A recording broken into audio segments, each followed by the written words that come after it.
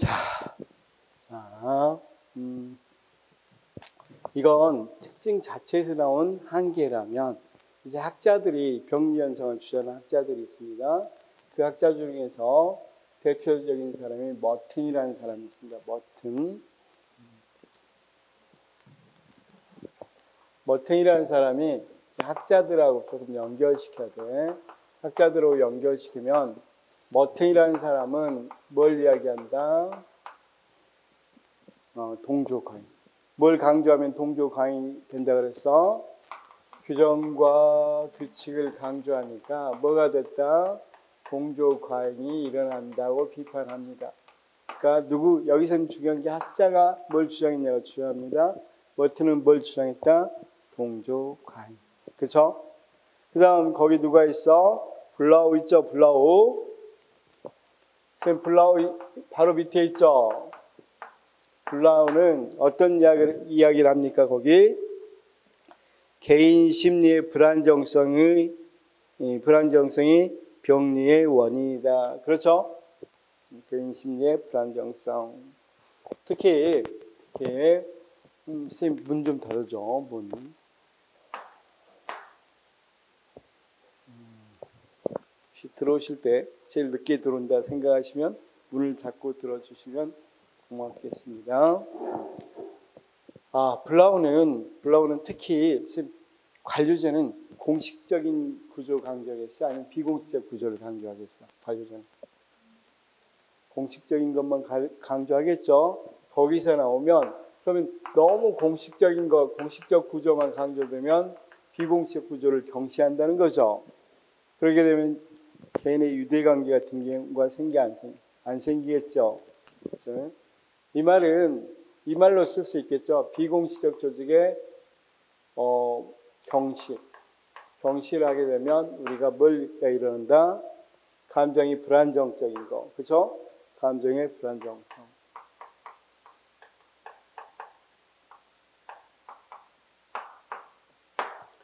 우리가 거꾸로 이야기하면 비공식 조직은 뭘 가져올 수 있다 그래? 소속감과 정체감 같은 걸 가져온단 말이야. 내가 여기 소속돼 있다. 또는 나 여기 사람이다. 이런 정체감이 든단 말이야. 근데 공식 조직만 강조하니까 이런 이 정체감이나 소속감이 없게 되니까 감정이 불안정해지겠죠. 어? 그걸 지적한 사람 누구라고? 블라우. 그렇죠? 어, 그렇죠. 그래서 블라우스 입고 감정이 잘 조절이 안 된 거죠.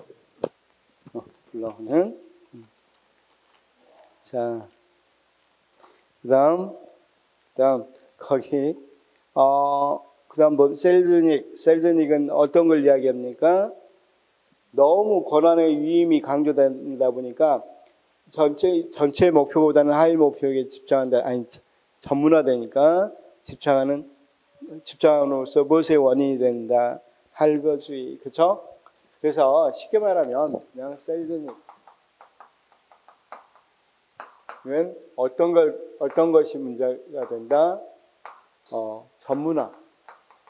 너무 전화, 전문화가 되다 보니까 우리가 뭐가 될 수 있다? 할거주의가 나온다. 이렇게 이야기했어. 할거주의. 그렇죠?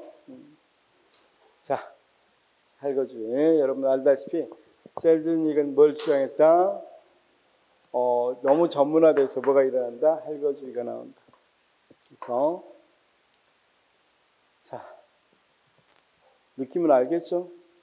그냥 이렇게 해요. 할머니들이 물건 잘 팔죠? 됐어. 셀. 넘어갈게요. 어, 그냥 알, 알거주 이렇게 외워두시면 되겠고. 그 다음, 거기, 어, 그 다음 뭐가 있습니까? 어, 골드 넣습니까? 자, 그 사람은 뭘 이야기한다? 부활을 통제하기 위해서 규칙이, 규칙이 통제 위주로 되, 된다 보면 뭐가 된다? 무사 안일주의가 된다. 그쵸? 음. 그래서 무사 안일주의를 이야기하면 됩니다. 그래서 너무 뭘 강조한다? 골드너는, 골드너는 뭘 강조한다? 계층제적 구조를 강조한다는 거죠. 음, 골드너. 이 사람은 어떤 걸 강조한다? 계층제적인 걸 강조하다 보니까 거기 무사 안일주의가 일어난다는 거죠. 무사 안일주의.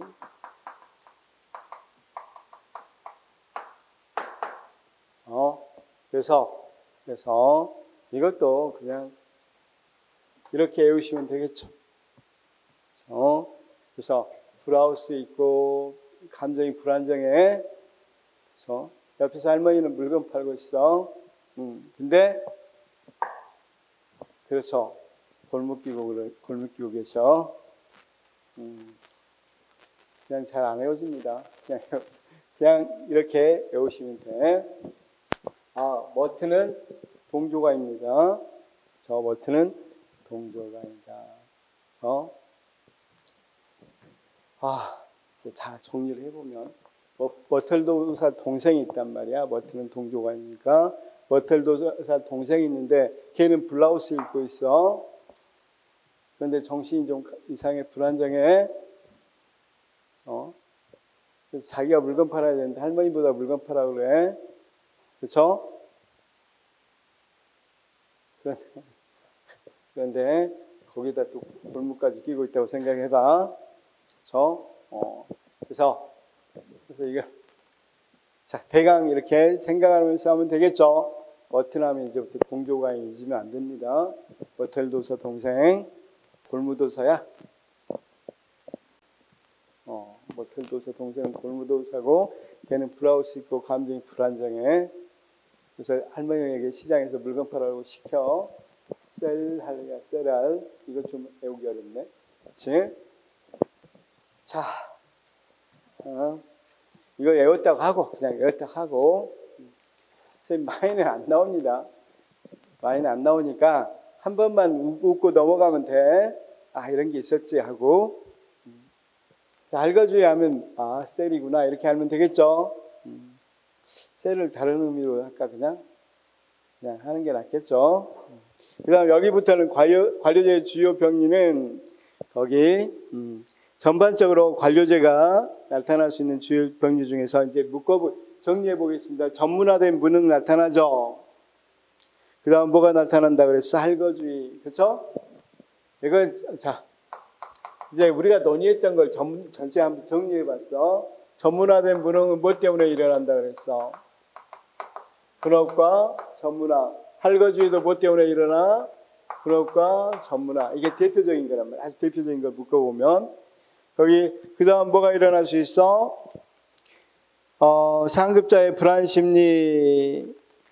자, 이것도 조직 구성원들의 불안 심리가 더욱더 권위주의적인 형태로 변해가는 현상을 상급자의 불안 심리라고 그래. 음, 우리가 어쨌든 불안이 많이 존재한다 그랬잖아. 공시- 비공조직을 경시하다 보니까. 그럴 때 상급자는 불안하면 불안할수록 무엇에 의존해?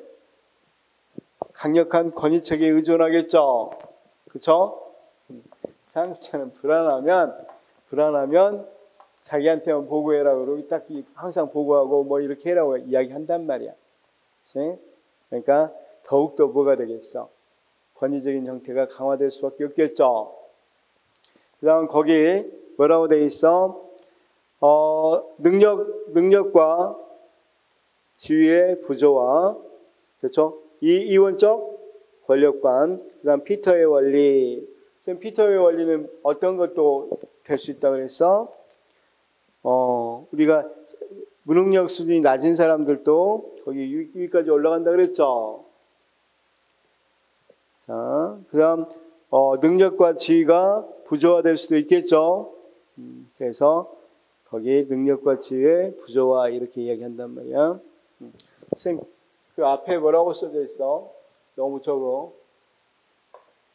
앞에 제일 앞에 뭐라고 써져 있어? 연공 서열을 강조. 그래서 아까 경력을 강조하다 보니까 이런 현상들이 빚어지는 거죠. 음, 그래서 여기 한번 써보겠습니다. 권력과 지위가 부, 아, 권력이 아니라 기, 기능이죠. 능력과 능력과 지위가 어, 부조화된다. 그러면 제가 이야기했죠. 우리가 이 경력주의를 강조하다 보니까 뭐가 되면 그대로만 있어서 올라가죠. 그렇죠? 그래서 이게 우리가 경력을 강조하게 되면 이런 현상이 일어난단 말이에요. 그 다음 당연히 거기 그, 거기가 뭐가 어, 초래될 수 있어? 어 피터의 원리. 피터의 원리. 피터의 원리는 무능력한 사람이 높은 수준까지 올라가는 걸 말하죠. 그렇죠? 이게 피터의 원리야. 쉽게 말해서 우리가 어, 경력을 우대하지 않거나 그렇게 되면 경력을 우대하니까 이 군대에서 어때? 짬밥만 있으면 계속 올라가죠. 능력 있든 없든 병사도 다 올라가잖아. 쌤, 어, 이병으로 제대한 사, 물론 이, 이병 제대는 의사, 의사 제대가 있긴 하지만 이병으로 저, 제대한 사람 없단 말이야. 아무리 무능력에도 다 병장 제대로 지나가면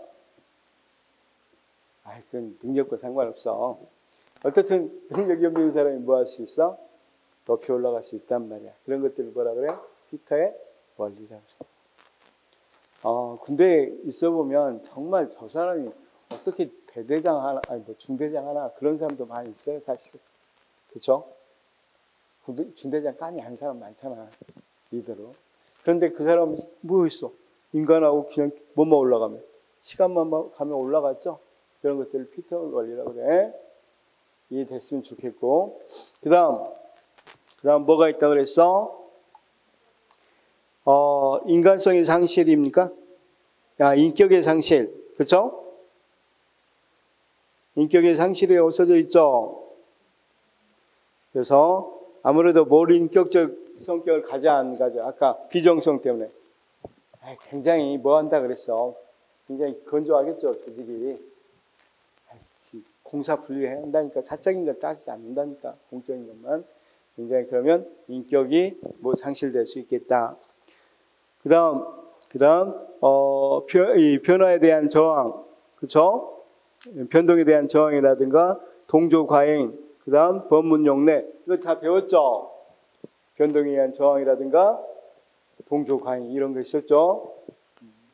그래서 앞에 있었던 걸 다시 정리한가, 뭐 차이가 있는 것도 아닙니다. 여기까지는 알겠죠? 여기까지는 알 거라고 생각합니다. 어, 여기 나와 있는 게 다 앞에 표에 나와 있었죠. 특징과 장단점에 그쵸? 앞에 표 특징과 장단점이 다 나와 있었죠. 그걸로 보시는 게 차라리 더 낫겠어. 뭘까지 돼 있으니까 특징에서 일어날 수 있는 일까지 다 돼 있으니까. 그 다음, 선생님 이제 기출 한번 해보겠습니다. 기출하기 전에 이 학자들 한 번만 더 보고. 자, 머트는 뭔 이야기 한 사람이야? 동조 과잉. 그죠? 블라우는, 블라우는. 블라우스 입은 사람들이 좀 정신이 조금 불안정하죠. 넘어가겠습니다. 음, 블라우. 왜? 정신이 불, 비공식적을 강조하지 않고, 그럼으로써 좀 불안정성을 일으킨다는 거죠. 정서적으로. 그 다음, 셀즈니건. 그렇죠. 알거주의를 주장하는 사람이고, 그 다음, 어, 골. 골드는, 어, 무사 안일주의 골무. 생각하시면 되겠다. 나머지는 아마 시험 문제 나오면 다 맞추실 수 있을 겁니다. 자, OX 문제. 관료제는 관료제는 관료에 의해서 통치된다는 의미로서 그렇죠? 맞죠? 비오크러시. 의미로서 왕정이나 민주정에 비해 관료가 국가 정치와 행정의 중심 역할을 수행한다는 의미가 있다. 맞습니다. 아, 꼭, 이, 오해서는 안될 게, 계층제, 관료제하고 민주주의는 기, 직접적인 관련은 없습니다. 민주주의에 공헌할 수도 있고 부정, 그러니까 순기능도 있고 역기능도 있고 다 갖고 있습니다.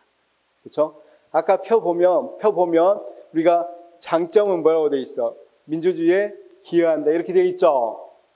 장점으로 나오면 단점으로 나오면 민주주의를 해친다고 돼 있죠. 아까 특징과 장단점에서 장점에서 가로쳐져 돼 있어 안 돼 있어? 민주주의에 기여한다. 장점으로 나오면. 근데 장점으로, 단점으로 발현, 되면 민주주의를 해친다고 되어 있죠. 저해한다고 되어 있죠. 그러니까 관료제는 민주주의하고 직접적으로 민주주의를 높여준다. 민주화를 높여준다. 이런 거 아니에요. 그렇죠? 높일 수도 있고 낮출 수도 있죠. 음. 자, 그 다음 그다음 베이버의 관료제 모형은 조직이 조직 모형은 조직이 바탕으로 삼는 권한의 유형을 전통적 권한, 카리스마적 권한, 법적 합리적 권한으로 나누었다. 맞죠? 박스 페이버가 말하는 관료제의 이념형은 법적 합리적 권위의 근거 맞죠? 박스 페이버가 말하는 관료제의 이념형은 도덕적 이상 이런 거 아니라 그랬죠? 사유를 통해서 했기 때문에 이념형이지 경험칙으로 경험을 통해서 만들어내는 게 아니라 생각, 사유를 통해서 만들어내는 거지 이거 도덕적 이상하고 전혀 관련이 없죠. 이건 도덕적인 게 아니야. 그냥 효율적인 걸 강조하는 거야. 효율적. 효율적인 걸 강조하는 건 도덕적 강조하는 거 전혀 다르죠. 그렇죠? 자, 음.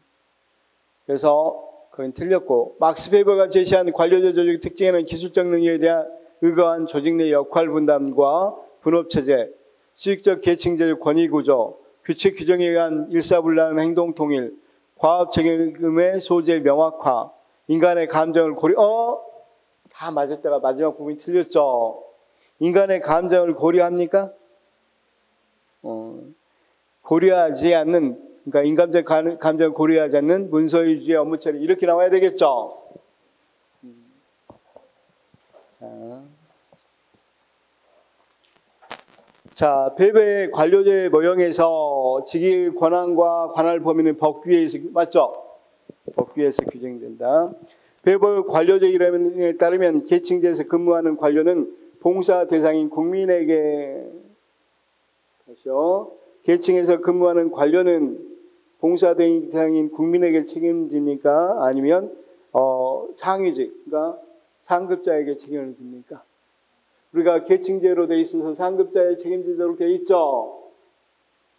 아, 국민 아니라고 그랬죠. 우리 민주정하고 관련 없다고 직접적 관련 없다고 그랬죠. 만약에 민주적인 조직이면 국민에게 책임을 지는 조직이겠죠. 그런 건 전혀 없이 효율성, 능률성을 강조한 조직입니다. 자, 우리가 예를 하나 들자면 우리가 한번 생각해 보면 음, 우리가 조직이 이게 지금 사회가 이렇게 분배가 여기가 상류층이 이렇게 분풀 불을 다 갖고 있고 하류층이 이 정도밖에 없어. 그럼 이런 걸 개선시켜야 우리가 도덕적으로 어느 정도 낫다고 하겠죠. 그런 게 아니라 이 파이만 키우자는 거야. 파이만 그면 키우면 이건 물론 절대적으로는 좀 커졌겠지만 상대적으로 불평등은 훨씬 더 커졌겠죠. 지금 우리 생각을 해봐. 쌤 거기 아파트에 살고 있죠. 어느 정도 주거는 개선됐단 말이에요. 옛날에 비해서. 근데 우리가 강남 갈 수 있습니까? 없습니까? 못 가잖아. 거기 아파트가 뭐 몇 평 안 되는데 30억 뭐 그런단 말이야. 어떻게 가? 그래서 어, 쌤, 어, 이게 살아계, 어, 이게 인생에서 30억은 몇 살 때까지 돈 안 쓰고 볼수 있을 것 같습니까? 몇살 때까지? 그렇죠.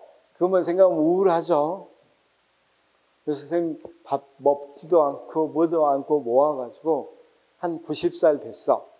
그래서 한 10억 먹었다 그래. 그래도 못 가. 그만큼 이제 개천에서 용도 안 나죠. 개천에서는 이제 지렁이도 없단 말이야. 움직이는 지렁이도. 그러다 보니까 불평등한테 이렇게 만드는 게 관료제지 이걸 뭐 개선하자는 게 아니야. 효율성, 능률성만 강조하는 거야. 이해됐을까 믿고 말하다 보니까 슬퍼집니다. 그렇죠? 자, 베버의 관료제 이론에 의하면 관료, 관료는 그렇죠. 어, sine ira et studio sine ira et studio 정신으로 업무를 수행해야 된다. 이런 sine ira et studio가 뭐야? 어, 전혀 모르겠죠? 어. 라틴어, 라틴어. 라틴어, 어, 라틴어로 되어 있는 건데, 어, 이건 어떤 거냐면, 어, 분노, 분노와 편견 없이, 이런 뜻이야. 분노와 편견 없이 그 어떤 열정도 갖지 말고 분노도 갖지 말고 편견도 갖지 마라. 대표적인 거 뭘 의미하는가? 공사, 분리, 비정성을 의미한단. 그치? 사인이라 에트 스튜디오. 그래서 무엇과 뭐 없이 분노와 편견 없이 이렇게 이야기합니다. 어, 의 정신으로 업무를 수행하였습니다. 어, 이건 좀 사, 사실은 나쁜 선생님이 낸 문제 같아. 아, 여기다 번역을 좀 해주든지, 그쵸? 이걸 라틴어를 알아, 알아야 답을 할 수 있는 거잖아. 지문에 1번, 2번, 3번, 4번 나온 지문 중에 하나인데, 지문에 이렇게 써놓고 이게 맞았냐, 틀렸냐 물어보면, 쌤 비정성을 알고 있는 사람도 이걸 답할 수 있겠어, 없겠어? 이게 뭔 소리인지 알아야 돼요. 이런 문제가 내고 있으니까 진짜 한심하죠.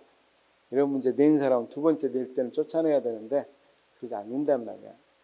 쌤들은 인생이 달린 문제를 장난하고 있는 거잖아. 응? 이걸 알, 아냐 모르느냐. 나는 비정성 엄청 잘 알아. 계층적 특징으로. 아, 그러니까 관료적 특징으로. 그런데 뭘 이거 답을 맞힐 수가 없을 수도 있겠죠. 음. 이런 출제가 나오면 다음부터 어, 항의해 항의해야 돼. 그럼 블랙리스트에 올라가? 그럴 수 있겠다.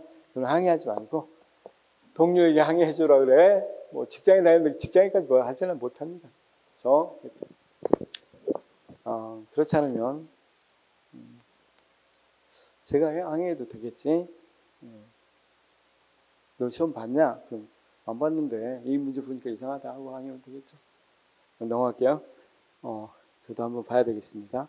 어떻든 분노와 편견도 없이라고 해석됩니다. 분노와 편견도 없이 뭐 해라? 열정도 가질 필요도 없다는 거죠. 비정성 있게 해라 이 말이고 베버가 주장한 베버가 주장한 이념명으로서 근대 관료제에서 관료의 업무 수행은 문서에 의한다. 맞죠? 관료제는 베버가 베버의 관료제론에서 이상적인 관료제는 정치적 전문성에 충원제 아까 정치적 전문성입니까? 아니면 관료가 관료적 관료적 전문성입니까? 그래서 관료적 전문성이죠. 즉 전문적 능력을 갖고 있어야 되겠죠. 그래서 우리가 정치적 전문성이 있다 그래서 친하니까 또는 나하고 정당을 같이 하니까 그래서 공무원을 임명하면 되겠었는데 관료제는 그걸 그걸 반대하는 거죠. 그렇죠? 그래서 전문적 능력을 갖고 있는 사람이 임용돼야 된다. 이걸 강조하고 있습니다. 관련된 일정한 자격 또는 능력에 따라 규정된 기능을 수행하는 분업의 원리 맞죠? 배보의 배보 관료제 이론에 따르면 어, 보수를 받지 않고 봉사하는 사람을 관료라고 볼 수 없다. 그래. 왜냐하면 전문적 직업이라고 이야기했으니까. 직업에 보수 안 받으면 되겠었는데. 직업이라고 할 수 없겠죠. 아, 그건 봉사지 봉사. 그래서 그다음 연공급보다는 뭘 아니 성과급보다는 뭘 강조한다? 연공. 자, 전통적 관료제의 특징 중 계층되는 의사결정 지원과 상급자의 권위에 지나친 의존한다는 역기능과 연결될 수, 그쵸? 그쵸? 의사결정 지연될 수 있어, 없어? 계층제로 하다 보면. 우리가 보고 체계가 너무 많으면 계층제가 말은 어느 정도 유계 체계가 많다는 건데, 보고할 때 결정이 지연될 수 있겠어, 없겠어? 쉽게 해서 뭐 하는 거? 결정점들이 너무 많단 말이에요. 이 사람들이 할까 말까 고민하는 부분이 있겠죠. 이게 없으면 자, 이 계층제로 잘 안 이루어진 학교 같으면 바로 교장이 그냥 결정하면 된단 말이야. 근데 여기는 과장이 한번 고려해보고 부장도 고려해보고 국장도 굉장히 그런 사이에 시간이 지연될 수 있겠죠.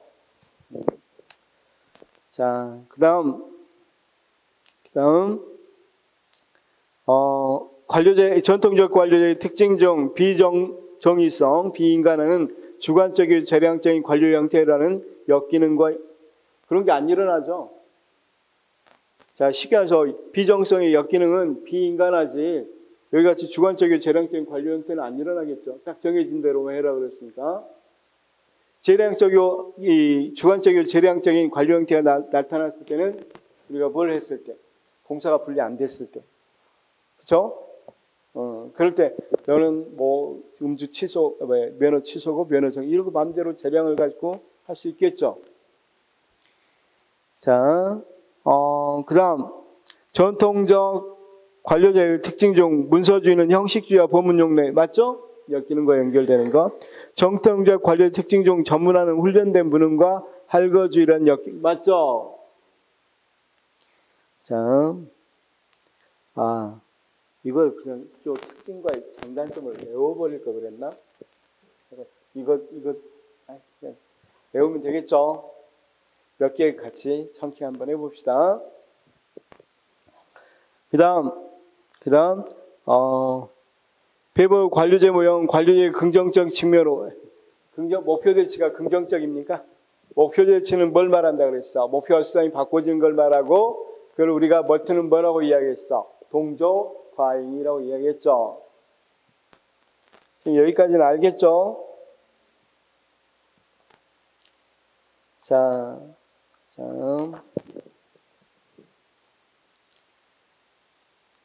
어, 관료들은 관료들은 보수적이고 변화와 혁신에 저하는 게 맞죠? 관료들은 자기만의 왕국을 만든, 만들려고 하는 경향이 있다. 이것도 맞죠? 자기만의 제국을 건설하는 경향이 있다. 이것도 맞잖아. 관료제의 여러 병리 중 과잉 동조는 목표 달성을 위해 마련된 규정이나 절차에 집착함으로써 결국 수단 목표를 압도 맞죠?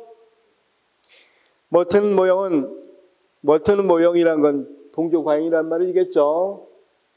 관료에 의한 최고 관료체의 지나친 통제가 관료들의 경지성을 초래한다고 본다. 자, 여기도 말씀드렸습니다. 멀튼도, 멀튼 모형에서는 이 말도 합니다. 동조 과잉도 이야기하고 관료의 경지성도 이야기합니다. 음, 관료제의 비하로 병리 현상 중 과잉 동조는 세분화된 특성 업무에서는 전문적인 능력이 있지만 그밖 업무에 대해서는 분해, 자, 뒤에 설명한 건 훈련된 무능이죠. 전문화된 무능 또는 훈련된 무능이죠.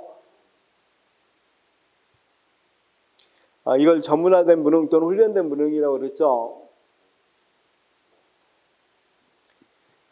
자, 어, 그래서 과잉동조 아니고 관료제의 부정적 형태 중 형식주의는 번거롭고 까다로운 규칙, 규제, 절차를 지나치게 강조하는 며 국민의 불편 맞죠? 규칙, 규제, 절차를 강조하는 걸 형식주의라고 그러죠.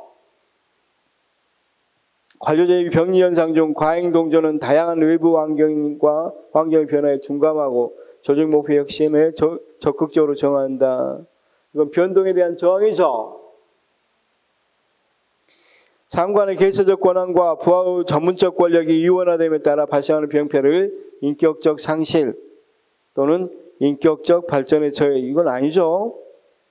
우리가 왜 이러는다 그래서 상관의 개체적 권한과 부하의 전문적 권력이 이원화돼서 발생하는 병폐는 경력을 너무 강조해서 나타나는 거죠. 그렇죠? 그래서 이건 권력구조 이원화는 자 우리가 보통 거기 X인데 X가 안 돼 있죠. 음, 그럼 수정이라고 써져 있죠. 그 전에는 안 돼 있었다는 소리죠. 원본은 안 돼 있어서 X를 넣고 수정이라고 표현했습니다. 그래서 그래서 어, 보통 자 거기 인격, 인격적 발전의 저해는 뭐 때문에 일어난다 그랬어? 비정성 때문에 일어난다 그랬죠. 자, 그다음 그다음 파킨슨의 법칙은 이건 우리가 총론에서 배운 거죠. 파킨슨 법칙 배웠잖아. 업무량과 관계없이 뭐가 늘어난다고? 부하수가 증대한다. 그렇죠? 그래서 그래서 맥커티 모형은 계층제적 관료 조직 내에서 구성원이 각자의 능력을 어, 넘는 수준까지 승진하는 것. 쌤, 이 어떤 거 우리가 구성원의 각자의 능력을 넘어 넘는 수준까지 승진하는 것이 우리가 무슨 원리라고 그랬어? 피터스의 피터의 원리 이렇게 이야기했죠. 그렇죠? 피터의 원리라고 그랬습니다.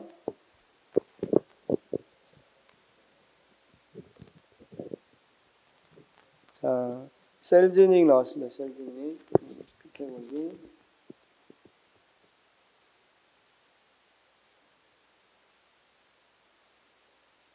자, 어, 셀즈니 모형은 권화의 유임과 전문화가 조직 하의 체제의 이해관계를 지나치게 분열시킨다. 조직 이해관계, 셀즈닉은 할거주니까 이해관계 체제를 지나치게 분열, 분, 분절시킨다. 이거 맞죠? 할거주의 설명하고 있으니까. 관료제의 부정적 형태 중 할거주의는 전문성에 따른 분업 구조로 인해 다른 기관 간의 횡적인 업무 협조나 조정을 어렵게 한다 맞고 골드, 어, 골드너는 아까 골무라 그랬죠? 그럼 뒤에 무사한 일 나오면 되겠죠? 무사한 일 나왔죠? 그런데 이제 이렇게 외우면 생각을 안 해도 된단 말이야.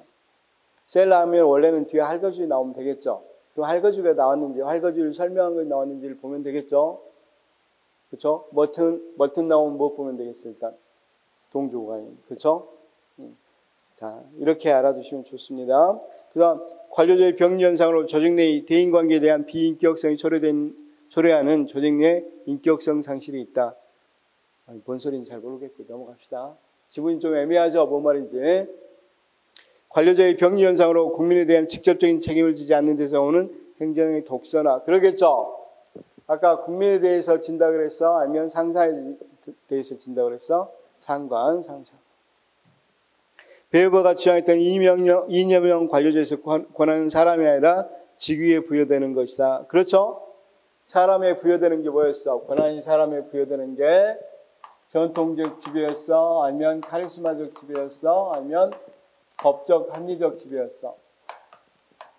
사람이 권한이 위임되는 건 카리스마. 그 사람의 인격적인 감화 이런 것들 전 초인적 능력을 보고 따르는 거라고 그랬죠. 그런 카리스마 조건이죠. 자, 음.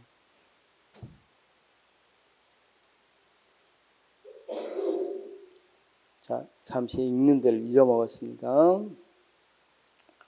자, 골드너까지 했고, 관료제 독서 하나 주겠고, 음. 아, 그렇죠. 배법 관료제 일원에 오면 관료를 승진시킬 때는 근무연을 고려할 수도 있다. 그렇죠? 아까 경력을 강조한다고 했으니까. 배법 관료제에 따르면 규칙에 의한 규제는 조직의 계속성과 안정 맞죠? 예측 가능성, 계속성. 배법 관료제 모형은 인간적 또는 비공적 요인의 중요성을 간과하죠. 관료제는 소수의 어, 상관과 다수의 부하로 구성되는 피라미드 형태를 취해서 과도제의 철학이 나타날 수 있다. 그렇죠? 과도제의 철칙 또는 음, 철칙. 과도제의 철칙 누가 주장했어? 누가?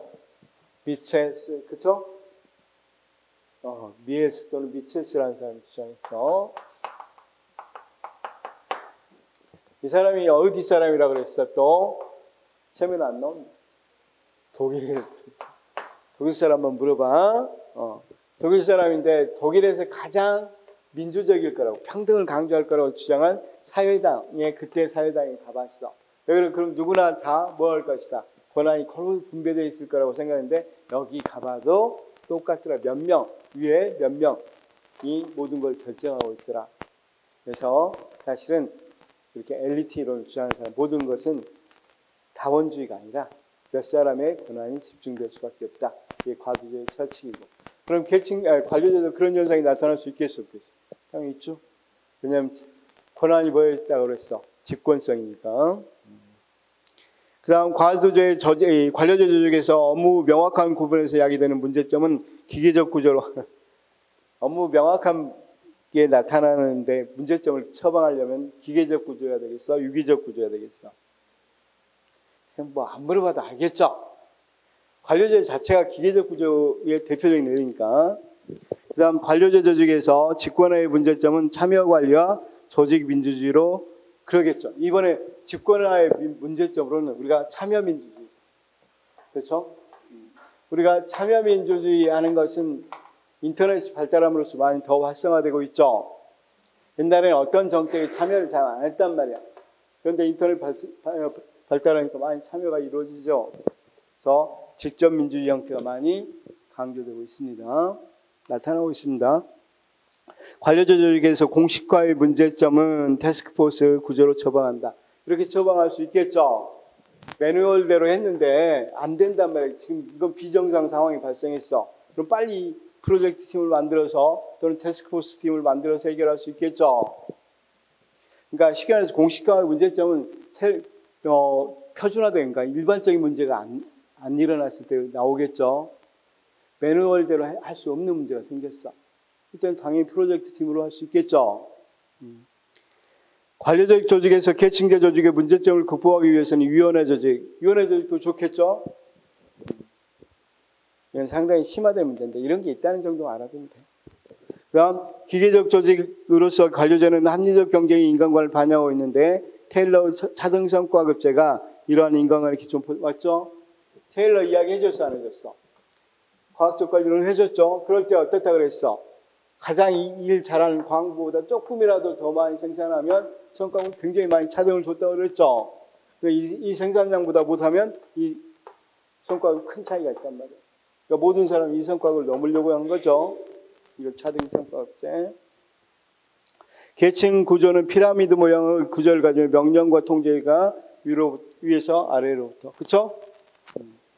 우리가 피라미드 구조를 통해서 소통이 되는 거죠.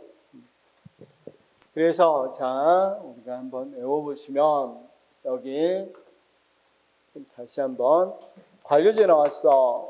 관료제, 관료제 나왔고 관료제는 뭐 하니까 다 맞출 수 있겠어. 일단은 특징, 특징으로 거의 대부분 나왔죠. 그래서 특징에 분 비, 권, 규, 경, 문 이게 특징이 중요하고 특히 장점은 잘 안 나오고 여기에 해당되는 약점들이 나왔죠. 그렇죠? 그래서 약점들이 나왔으니까 약점과 잘 연결시키면 되겠죠. 그 다음 학자하고 뭐하고 연결되는 거. 학자하고 우리가 이 병리, 병리현상 연결하는 거 이런 정도는 좀 받으시면 되겠죠. 이렇게 알아두시면 좋겠습니다. 특히, 정리된 거 어, 근대 관료제의 특징과 장단점을 외워두시면 좋겠죠. 장단점을 외워두시면 좋겠다. 그래서 어, 이 우리가 이 전문 분업으로 나타나는 게 뭐라 그랬어? 우리가 뭘로만 이 병리로만 해봅시다. 훈련된 무능 나타난다 그랬죠. 그다음 또 하나 훈련된 문화하고 그것이 할거지 이거 좀 지워버리고 어 분업과 전문화로 훈련된 문화하고 할거지 이걸 좀 청킹해야 될 것 같아. 그다음 비정성으로 나타나는 건 인격의 상실. 이건 누구나 알 수 있는 게 이런 거 내우지 말고 그렇죠? 자, 그 다음 뭐가 있었어? 권위의 유계, 계층제적인 것으로 나타날 때, 이건 좀 외워야 되겠죠? 권위의 유계, 계층대 할 때, 어, 상관에 의존한다. 그 다음 무사안일주의다. 그쵸? 이건 외우기도 쉽겠다. 권상문에. 어, 그쵸? 어, 이건 좀 외우기도 좀 그래. 자, 그 다음, 쌤, 어, 규제, 규정과 규칙을 강조하면 동조과잉. 이거 있었죠? 경력주의를 강조하는 거, 우리가 경력주의를 강조했을 때 나타날 때 뭐가 나타난다 그랬어? 또는, 어, 자, 거기 이 관료 제국주의라든가 변동의 저항, 저항이 일어나거나 경력을 강조하면 피터의 원리 일어난다 그랬어? 안 일어난다 그랬어? 피터의 원리가 일어날 수 있다 그랬죠? 그러니까 경력하고 그 능력이 다르잖아. 오래됐다고 더 높은 지위에 있고 능력이 높지만 낮은 지위에 있을 수도 있겠죠. 그런 것들이 문제점들 피터의 원리. 그렇죠? 문서주의는 법문 용례하고 형식 이것도 안 외워도 되겠잖아. 그럼 외울 만한 건 뭐야? 경력주의, 경력을 강조해서 나타나는 피터의 원리. 이것도 외우지 말까? 그럼 이 네 가지 이것만 외우면 될까? 어, 그래, 그냥 이렇게만 외웁시다. 근데 뭘 외워주면 좋겠어? 권상문을 외워주면 좋겠죠? 권위의 유기는 상관에 의존하고 무사한 주. 그치? 아, 분업을, 분업을 훈련된 분은 무로 바꿀까? 분은 잘 안 되니까. 분무, 분무, 정, 그냥 분무할. 이렇게 하면 되겠죠? 권상무 분무할이야. 그치?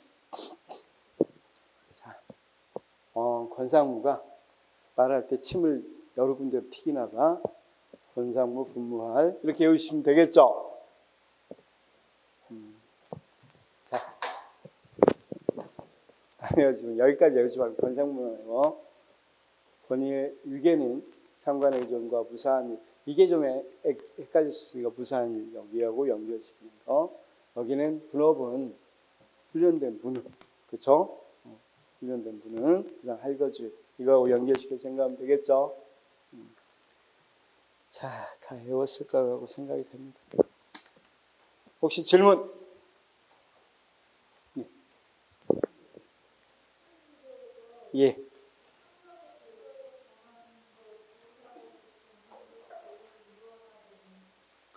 그 말이 그 말이라니까. 아까 상관의 권위, 이 상관은 뭐가 지위는 높죠.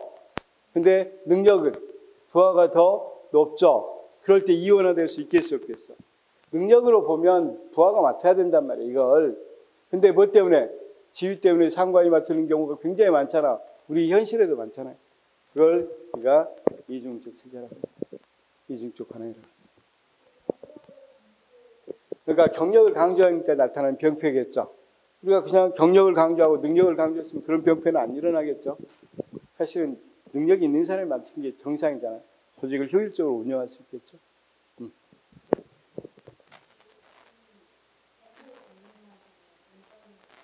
예. 관료 제국주의. 관료 제국주의는 우리가 어떤 책임을 안 지고 있으니까 관료들이 뭐 하려고 해? 자기만의 세상을 만들려고 해.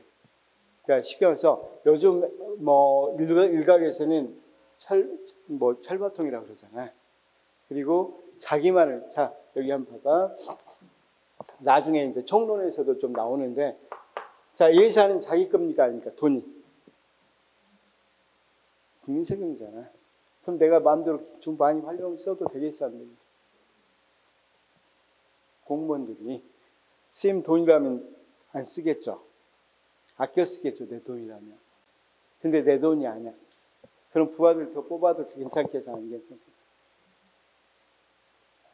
다시 쌤이 어떤 기업을 만드는데 내 돈으로 들어가 지금 내가 번 돈을 이렇게 그러면 어, 세명 쓸 것 같아도 두 명 쓰면서 알바 한 명 더 해서 이런 식으로 쓰겠죠. 돈 아끼려고. 근데 여기는 행정부야. 내것돈 아니야. 그럼 직원 몇 명이라도 더 뽑겠어, 안 뽑겠어? 그런 거, 그런 현상들. 그리고 자기의 동료를 뽑겠어, 아니면 부하를 뽑겠어? 부하를 뽑으니까 마치 제국제로 만드는 거죠. 나를 따르라고 했죠. 그래서 옛날에 KTF하고 KBN가? K, K, 지금 KT하고, 어, KTF인가, 뭐 있어? KTB인가, KTF인가? 여기하고 어, 여기하고 합병할 때 여기는 2천 명이 일하는 것을 여기는 2만 명 미안 거꾸로 이야기했어. 여기는 어, 여기는 2천 명이 일하는 걸 여기는 2만 명이 일하고 있더라 이 말이야. 이때는 공기업이었다 보니까 쌤뭘안 했어. 자기 돈이 안 들어가. 그러니까 직원 뽑을 때 마음대로 뭐 한단 말이야. 수 늘린단 말이야. 자기가 편하려면 부하가 많아야 되겠죠. 이런 경향이 굉장히 강력해진단 말이야. 이것뿐만 아니라 다른 다른 부분에 있어서 관료제 같은 경우는 특히 국민의 뭐 그러니까 정을 이, 대, 이 책임을 안 지니까 스스로 몸집을 키우려고 하는 거죠.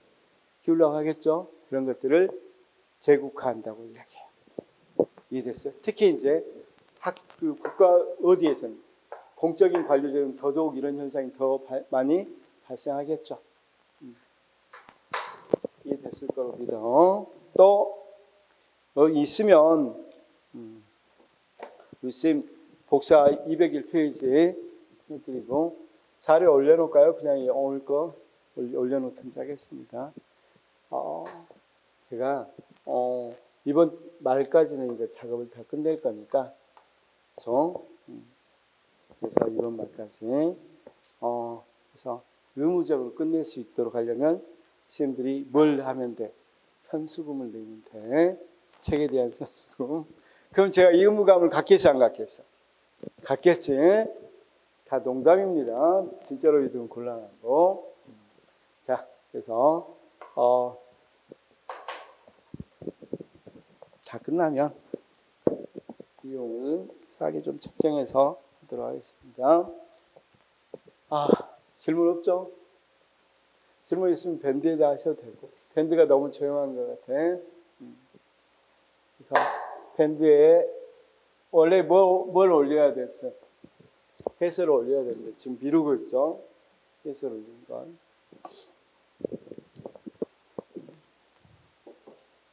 자, 어차피 끝나면 선생님들이 다 책으로 좀 봅시다. 자, 오늘 수고하셨습니다. 글씨를 1보다 더 줄이면 안 되겠어. 글씨를 1보다 더 줄이면 안 되겠어. 최대한 간단하게 지금 해설까지 되니까 주장이